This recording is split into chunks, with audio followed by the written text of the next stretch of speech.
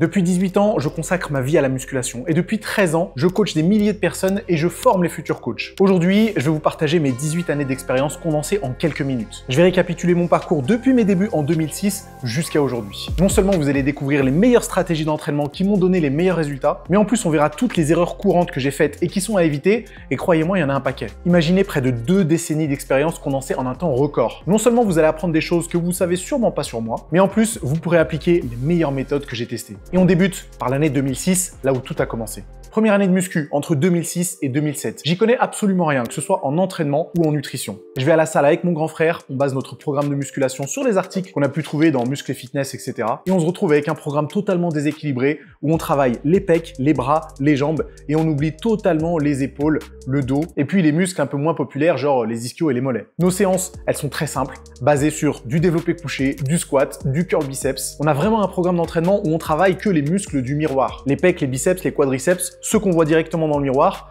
tout ce qui se passe derrière, on sait même pas que ça existe. Et le plus choquant sur cette première année de musculation, c'est mon rapport avec la diète. Je ne sais pas ce que ça veut dire des calories, je ne sais pas ce que c'est des macronutriments, je connais pas les protéines, les glucides et les lipides. Et réellement, histoire vraie, hein, on sortait de la salle de sport avec mon frère, on allait au supermarché du coin, on achetait une dizaine de barres de chocolat et on mangeait ça en mode post-workout en imaginant que ça allait nourrir le muscle. Aujourd'hui, vous trouverez ça sûrement délirant, mais en 2006, les sources d'information, elles n'étaient pas énormes. Donc avec le recul, je suis quand même bien content d'avoir passé un peu de temps à apprendre la technique des mouvements, mais par contre, au niveau des erreurs, il y en a un paquet, j'allais m'entraîner à l'instinct, je savais pas ce que c'était un programme diététique. J'ai jamais compté le nombre de séries, les temps de récupération. Je savais même pas ce que c'était des variables d'entraînement. Donc vraiment, j'allais à la salle au feeling. Et il s'est passé ce qui devait se passer. J'ai pas vraiment progressé la première année. L'année numéro 2, elle est assez particulière parce que je commence à développer une certaine passion pour la musculation. À savoir que j'étais pas du genre sportif. Donc aller à la salle plusieurs fois par semaine, entre 4 et 5 fois, c'était vraiment un changement total de mode de vie pour moi. Mais malgré cette passion qui commençait à grandir, je faisais toujours plein d'erreurs à la salle. Il y avait aucune cohérence dans mon programme d'entraînement et les séances que je faisais, c'était vraiment du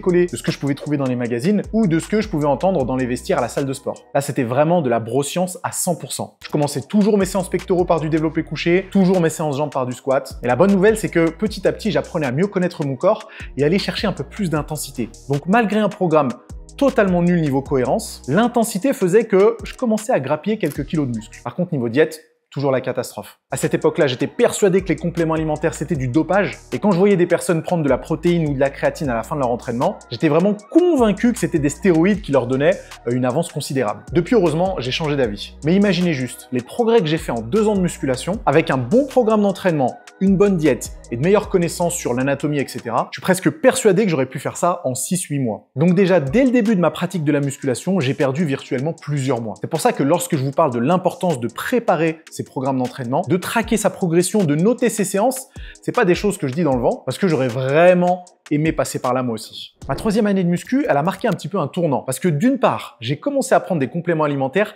à ce moment-là protéines, créatine. J'avais commandé ça sur bodybuilding.com à l'époque. Je me rappelle comme si c'était hier. À l'époque, j'habitais toujours chez mes parents. Je vous laisse imaginer la tronche de mes parents quand ils ont vu un pot de créatine et un pot de protéines. Et même si j'avais déjà un peu plus de 20 ans à l'époque, bah, les compléments étaient toujours associés au bodybuilder qui a des années et des années d'expérience. Donc c'était un peu bizarre de prendre ce genre de choses. Heureusement, ça s'est vite démocratisé. J'ai encore quelques photos de mon physique en 2008-2009. Je sais qu'à ce moment-là, je pesais à peu près 80 kg, sachant que j'ai commencé la musculation à, à peu près 70 kg. Donc mine de rien, en deux ans et demi, j'ai pris 10 kilos. Attention, c'est pas 10 kilos de muscle, parce que je mangeais n'importe quoi à l'époque, mais il y avait les gains du débutant, donc j'ai sûrement pris un peu de muscle, et pas mal de gras. J'ai toujours aucune connaissance en musculation, ni aucune connaissance en diète d'ailleurs, et c'est assez paradoxal parce que je commence à prendre des compléments alimentaires alors que je sais même pas ce que c'est qu'un total calorique et des macronutriments. La bonne nouvelle, c'est qu'on s'entraînait dur très dur et on sortait des séances d'entraînement complètement lessivées. On aurait pu se blesser étant donné que le programme d'entraînement était pas du tout bien construit. Mais étant donné qu'on avait une technique qui pas trop dégueulasse, eh ben on a réussi à y échapper. Mais pour vous dire à quel point j'en étais à la ramasse, j'étais à ma troisième année de musculation et quand je faisais du squat, je ne sentais jamais mes quadriceps. J'avais les fessiers et le bas du dos en feu, mais je m'obstinais à continuer à m'entraîner dessus malgré le fait que mon exécution aurait pu être complètement modifiée. Et je donne le squat en exemple, mais c'était le cas pour beaucoup d'autres exercices. Et au bout de trois ans de musculation, c'est quand même très grave. Avec le recul, j'aurais vraiment dû m'intéresser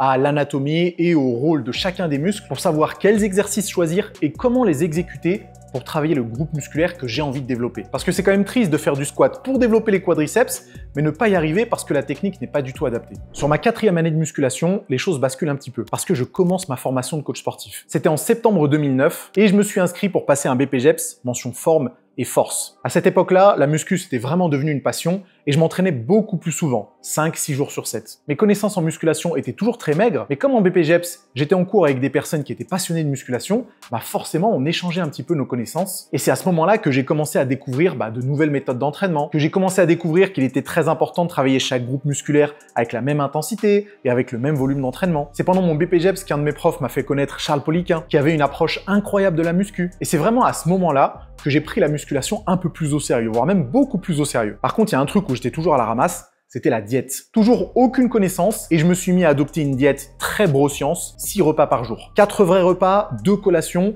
je comptais toujours pas mes calories, mais je pense que j'étais au moins à 5000 calories. Et c'est à ce moment-là où j'ai pris beaucoup de poids. Et où j'ai pris beaucoup de gras. La bonne nouvelle, c'est que mes entraînements étaient très intenses et commençaient à être mieux structurés, mais il n'y avait pas la diète pour soutenir tous ces efforts. Et ce qui fait que malgré 4 ans de musculation, même si, certes, j'ai progressé et mon corps avait bien changé depuis mes débuts, mais j'aurais pu progresser beaucoup, beaucoup, beaucoup plus vite. Et je peux vous dire que j'en ai encore des regrets aujourd'hui. Donc s'il vous plaît, ne faites pas comme moi, apprenez tout ce qu'il y a à savoir sur la diète le plus vite possible. Et si vous couplez ça avec un entraînement bien construit, vous êtes inarrêtable. L'année numéro 5, c'est celle où je termine mon BPGEPS. À cette époque-là, je pèse 99 kilos. Imaginez, j'ai commencé la muscu à à peu près 70 kilos. 4 ans et demi, 5 ans après, je fais 100 kilos. Et je me rappelle très bien parce que les examens finaux du BPGEPS, on devait faire des performances par rapport à notre poids de corps.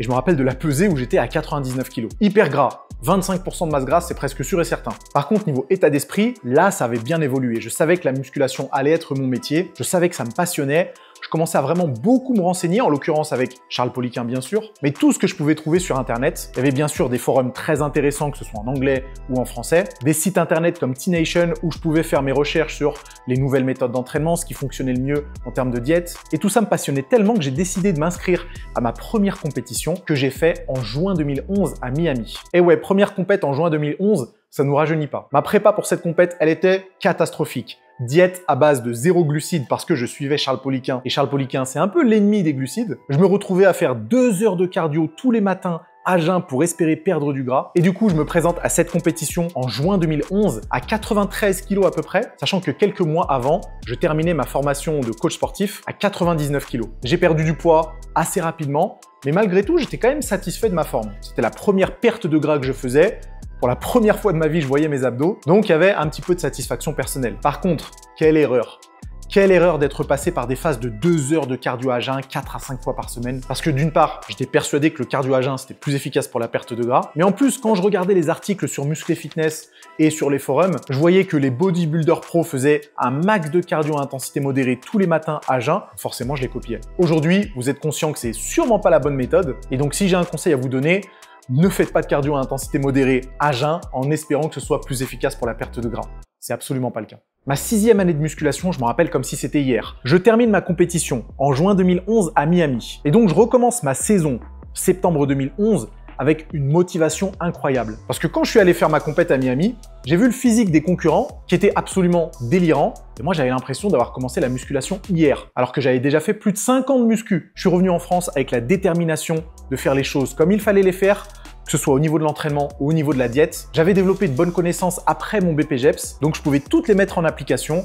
Je savais ce que c'était des variables d'entraînement, je comptais mes tempos d'exécution, mes temps de récupération, j'appliquais une surcharge progressive. Étant donné que j'avais eu des cours d'anatomie, bah, je connaissais le rôle de chacun des muscles, donc je savais précisément comment travailler le grand pectoral, le grand dorsal, les ischios, les quadriceps. J'étais beaucoup plus conscient de ma technique d'exécution, et c'est également à cette époque où j'en ai appris un petit peu plus sur la diète. Par contre, Grosse erreur. Malgré un programme bien structuré, eh j'étais toujours dans les phases prise de masse et perte de gras. Donc j'étais toujours convaincu que faire des prises de masse bien dégueu pour le coup, eh bien ça m'aiderait à accumuler plus de muscles pour ensuite le révéler avec une perte de gras.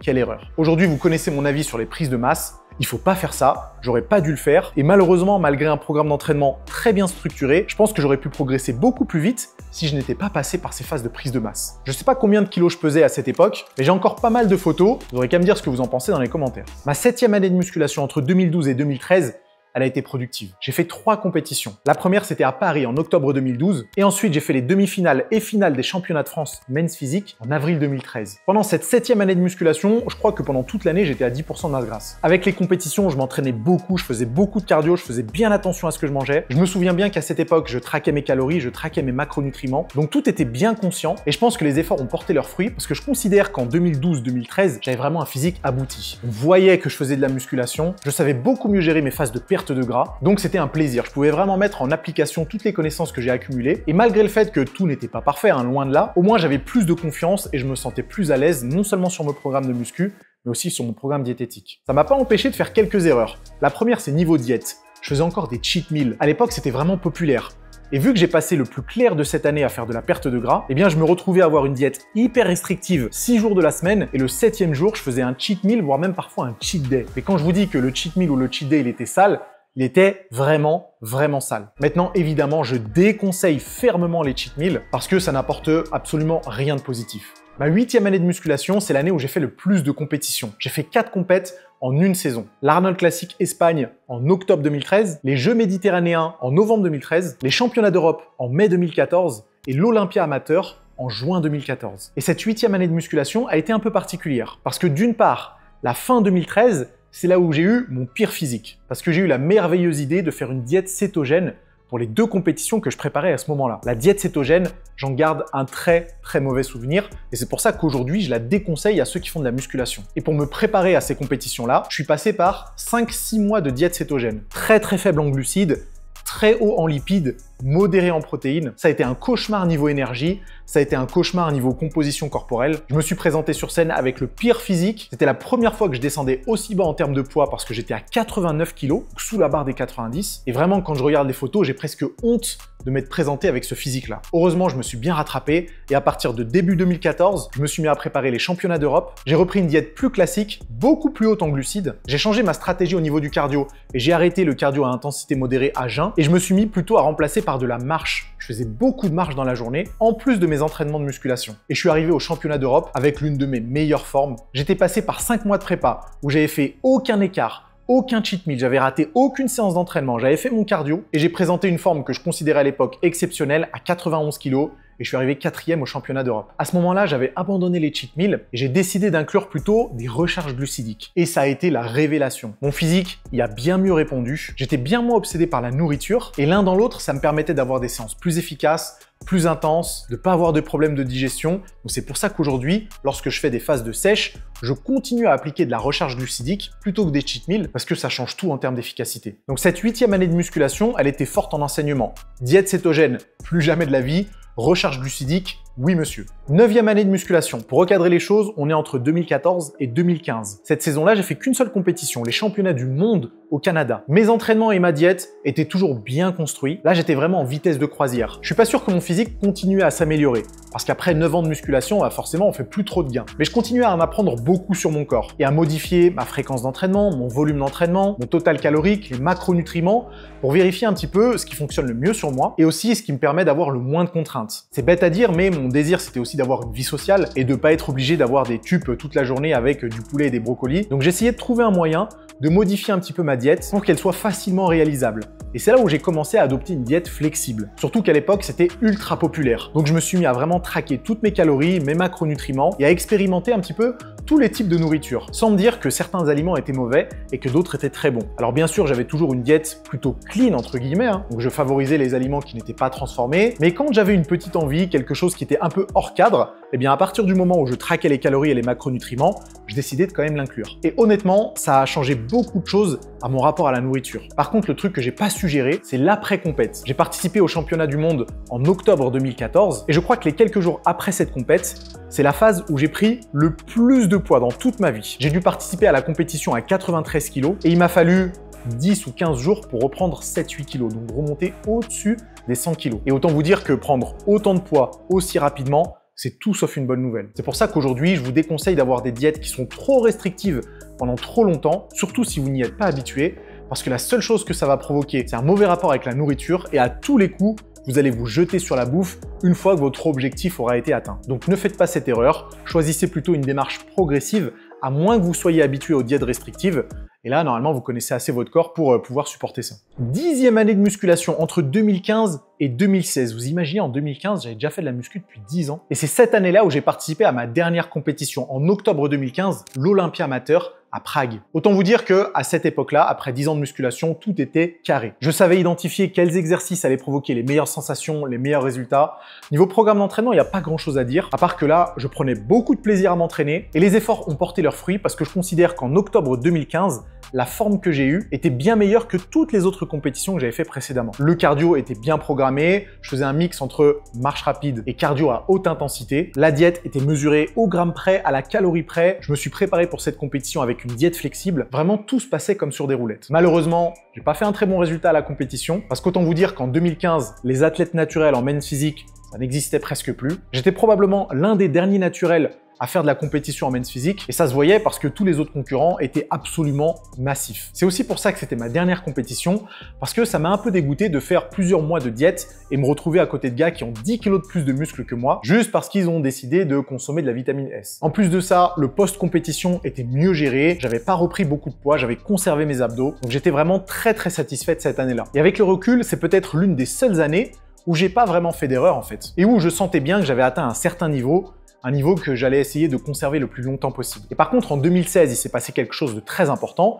C'est à ce moment-là que j'ai sorti les programmes Fitmass. Parce que non seulement mes entraînements perso étaient hyper bien construits, j'avais déjà plus de 5 ans d'expérience en coaching personnalisé. Donc là, c'était le moment de sortir mes premiers programmes et de pouvoir mettre toutes mes connaissances sur le tapis et en faire profiter un maximum de personnes. Ça a été un gros succès, il y a des milliers de personnes qui se sont transformées et ça m'a conforté dans l'idée que les connaissances que j'avais accumulées, non seulement elles avaient provoqué de super résultats sur mon propre corps, mais qu'elles ont aussi provoqué de super résultats sur des milliers de pratiquants. Aujourd'hui les amis, évidemment que je continue à faire des programmes de musculation, c'est sur ma boutique Fitmass. Le programme Fitmass original n'existe plus, il y a d'autres programmes qui sont encore plus qualitatifs, que ce soit pour prendre du muscle avec le programme VRT, que ce soit pour perdre du gras avec le programme Superset, que ce soit pour développer un peu plus les fessiers pour le programme BBS. Il y en a vraiment pour tout le monde, que vous soyez un homme ou une femme, que vous vous entraîniez 3 fois, 4 fois, 5 fois ou 6 jours sur 7. À tous les coups, vous trouverez le programme qui vous correspond sur la boutique Fitmass. Je vous laisse un petit lien dans la description si vous voulez commencer un programme dès demain. Je vous encourage à aller faire un tour sur la boutique pour voir quel programme pourrait vous correspondre. En plus de ça, vous pouvez avoir 10% de réduction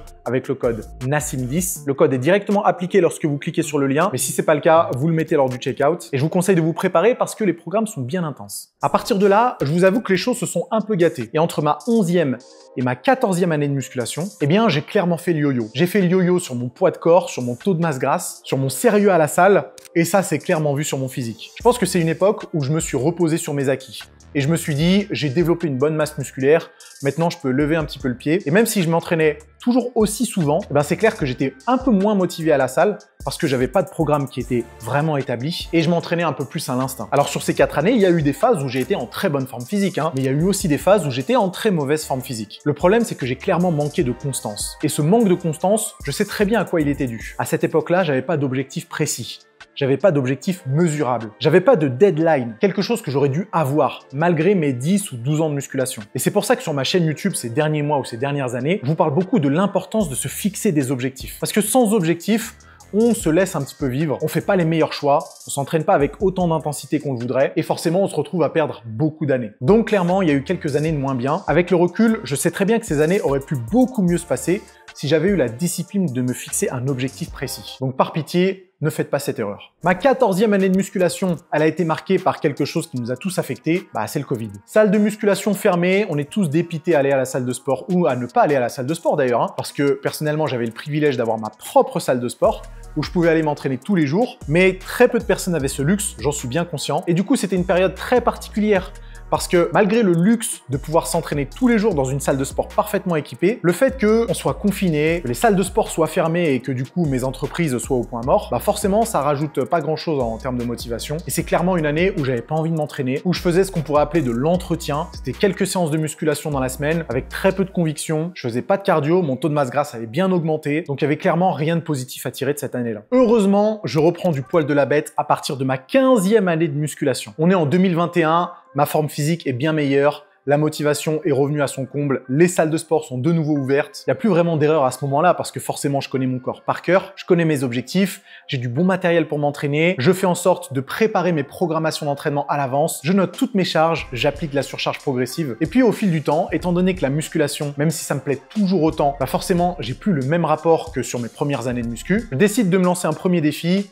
me mettre à la course à pied. Je participe à mon premier marathon en 2021. Je fais un truc complètement stupide, c'est que j'y vais sans m'y être entraîné. J'arrive quand même à finir ce marathon en un peu plus de 4 heures. Et c'est à ce moment-là où je me suis dit, ah, il y a peut-être quelque chose à faire, à mixer musculation et cardio. Donc c'est à partir de ma 16e année de musculation que je commence à inclure tout doucement la course à pied. À ce moment-là, tout le reste de ma pratique est carré, la diète est nickel. J'envisage très sérieusement l'importance du sommeil et je suis bien conscient qu'allier musculation et course à pied, ça va demander d'être encore plus sérieux avec mon mode de vie en général. Je participe à mon deuxième marathon pendant ma 17e année de musculation. À ce moment-là, je fais de la course à pied 4 jours sur 7. On ajoute à ça 7 entraînements de musculation. Donc j'ai vraiment l'impression de m'entraîner comme un sportif de haut niveau, alors que je suis loin d'être un sportif de haut niveau. Mais c'est clair que là, le sport, euh, c'est ma vie. Et c'est pour ça que ça coïncide beaucoup au nombre de vidéos que j'ai fait sur ma chaîne YouTube sur l'importance du sommeil et de la récupération. Parce que si j'ai appris quelque chose ces dernières années, c'est à quel point la récupération et le sommeil était important pour les performances, pour l'humeur, pour l'appétit, pour le taux de testostérone, pour absolument tout. Et des fois, je me demande à quelle vitesse j'aurais pu progresser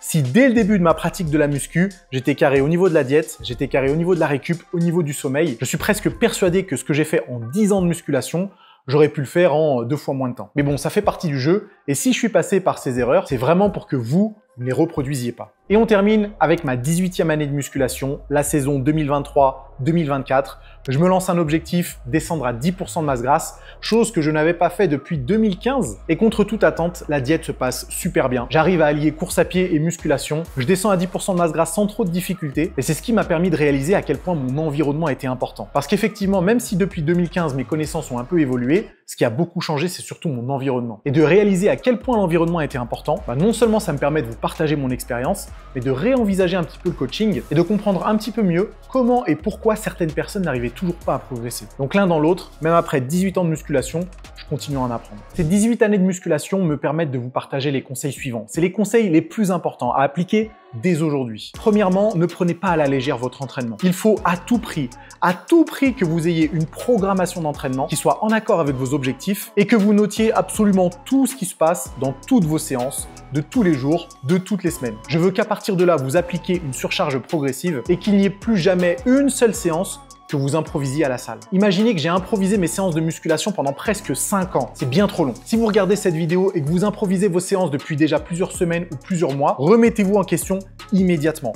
Préparez-vous un programme de musculation grâce à mes vidéos et n'improvisez plus jamais vos séances. Le deuxième conseil, c'est l'importance de la diète. Heureusement que maintenant c'est devenu un peu plus populaire, mais commencez le plus vite possible à traquer vos calories et vos macronutriments. L'idée c'est pas de le faire toute votre vie. L'idée c'est de comprendre ce que vous mangez et en quelle quantité vous le mangez. C'est exactement comme vos séances d'entraînement. Vous notez votre poids, vos reps, vos temps de récupération, etc. Eh bien, trouvez une façon de noter ce que vous mangez et en quelle quantité. Aujourd'hui, heureusement, il y a plein d'applications qui sont disponibles pour le faire très facilement. Donc faites-le et faites-le le plus tôt possible. Le troisième conseil, c'est de vous fixer un objectif ambitieux. Pour moi, à l'époque, c'était participer à une compétition et de faire le meilleur résultat. Et c'est ce qui m'a permis de faire le plus de recherches, de tester le plus de choses et au final, de développer le meilleur physique possible. Peut-être que vous, ça sera également de participer à une compétition, que ce soit de bodybuilding, de crossfit, de high rocks, de course à pied ou je ne sais quoi. Mais le fait de se fixer un objectif ambitieux, ça vous obligera à mettre tous les moyens en œuvre pour atteindre cet objectif avec les honneurs. Et le quatrième conseil, c'est soyez régulier. Si j'ai développé le physique que j'ai aujourd'hui, c'est certes grâce à mes connaissances, certes grâce à la génétique, mais c'est aussi grâce à ma régularité.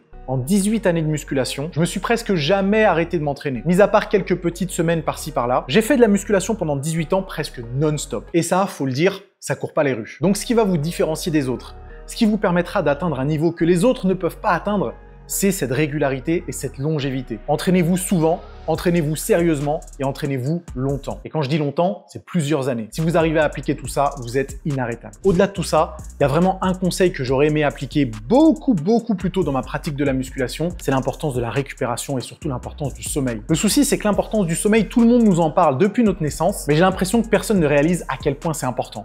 Un bon sommeil, c'est un super pouvoir. Et vous imaginez que j'ai pris ça vraiment au sérieux qu'à partir de ma 14e ou 15e année de musculation. Si vous commencez dès le début à prendre soin de votre sommeil, non seulement ça aura un impact positif sur votre santé générale, mais en plus ça va décupler la vitesse à laquelle vous allez progresser, aussi bien sur la prise de muscle sur la perte de gras. Et enfin, petite cerise sur le gâteau, mettez-vous à faire du cardio. C'est peut-être pas ça qui vous fera prendre du muscle plus rapidement, et c'est définitivement ça qui vous fera vivre plus longtemps. Et comme je suis persuadé que tout est lié, un corps en bonne santé, c'est probablement un corps qui est dans de meilleures dispositions pour prendre plus de muscles et perdre plus de gras. Donc faites du cardio, mettez-vous à la course à pied, mettez-vous au vélo, mettez-vous à la natation, mais faites en sorte d'inclure aussi vite que possible une activité basée sur l'endurance. Et voilà comment on résume 18 années de musculation en quelques minutes. J'espère que ça vous a plu d'apprendre un petit peu tout ce que j'ai fait depuis 2006. N'hésitez pas à me dire dans les commentaires s'il y a un conseil que vous avez plus de mal à appliquer que les autres. Si vous avez encore des doutes sur comment créer un super programme de musculation, ça tombe bien, j'ai fait une vidéo complète sur le sujet. Elle doit s'afficher quelque part sur l'écran, donc allez la visionner pour vous fixer un objectif précis